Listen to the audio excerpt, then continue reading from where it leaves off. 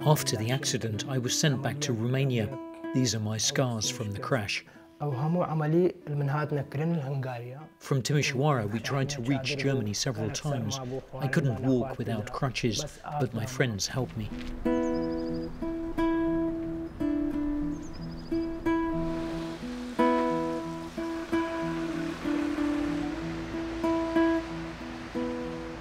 A smuggler took us by taxi to the Hungarian border and we got into a lorry.